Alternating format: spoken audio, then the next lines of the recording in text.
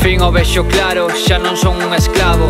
Dos desexos impíos dos seres humanos Só son un espírito empechado nun corpo demacrado Vagando polo cosmos co nome de Fernando. Por fin ando baixo as nubes e só me sinto aire Entro vai vendo vento dando incontables bailes. Xa non preciso almas, os juicios son os meus sables. Xa non teño ido pras palabras miserables. Respeto as pedras do camiño, só homes forman muros O propio home é responsable do seu futuro.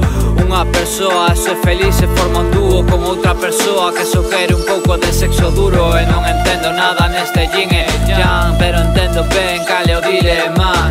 Xusto agora que me empezan as airicanas Comprendín todo e achei o nirvana. Todo que quería estando tirado en cama Todo que buscaba fumando marihuana Por todas as persoas que ao final non sanan. Alcancei a miña meta e coñecín o nirvana.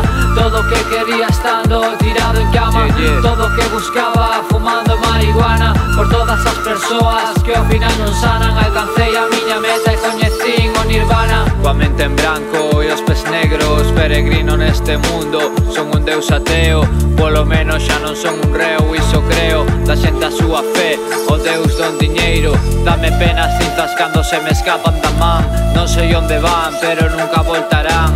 Ese é o plan. Vivir de agua e pan. Ser a palmeira que se meza Cando chega o furacán. Queimo hachís para enfriar a miña mente. Ainda así que convalecente polo ambiente. Por ser a única persoa entre tanta xente. A resina dos meus dentes. A forma meu quenque. O fin o vexo claro, son un lobo estepario Cuxos cadernos acabarán un anticuario. Xusto agora que empezaba a non ter ganas Comprendín todo e achei buscaba Fumando marihuana por todas as persoas que ao final non sanan. Alcancei a miña meta e coñecín o nirvana. Todo o que quería estando tirado en cama. Todo o que buscaba fumando marihuana Por todas as persoas que ao final non sanan. Alcancei a miña meta e coñecín o nirvana.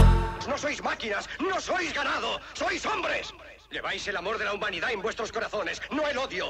Solo los que no aman odian, los que no aman y los inhumanos.